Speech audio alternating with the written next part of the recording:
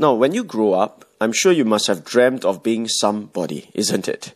Maybe you have dreamed of uh, being a famous sports star, a beautiful actress, a very capable pilot, or a rich businessman. Maybe those are the dreams that you are even having right now. But how many of you have dreamt of being a pastor?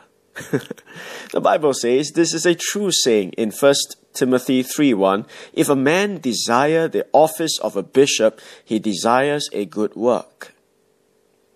The word bishop here refers to being an overseer. He is to take oversight of the people of God in the local church. It is synonymous with the word pastor, shepherd, elder in the Bible. It's referring to the same person. Now, the Bible says if you desire this office of a bishop, you desire a good work. It doesn't tell you how you have this desire, but it is good if you should have it.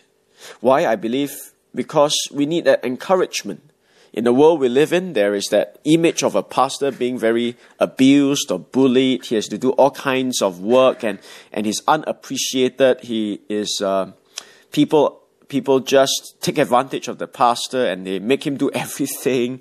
And when we hear of stories like this, we sort of uh, frown upon being a pastor. But you know, the Bible says it is a good work. It is a good work because I believe you serve people, you are bringing people to Jesus, you are equipping them for the work of the ministry, and it does bring glory to God. Now, I can't tell for myself personally how I desired that office, but God just gave it to me, and I'm encouraged as I look into the scripture that this is a good work.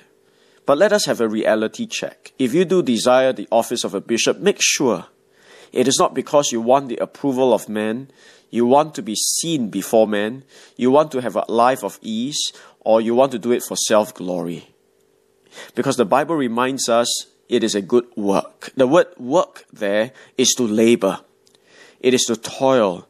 And let me say this if you desire a pastoral uh, work, it is a great desire but you must be prepared to work hard. You must be prepared to toil. You must be prepared even to suffer pains and heartaches. But it is good. It is worth the while because it is affirmed by God.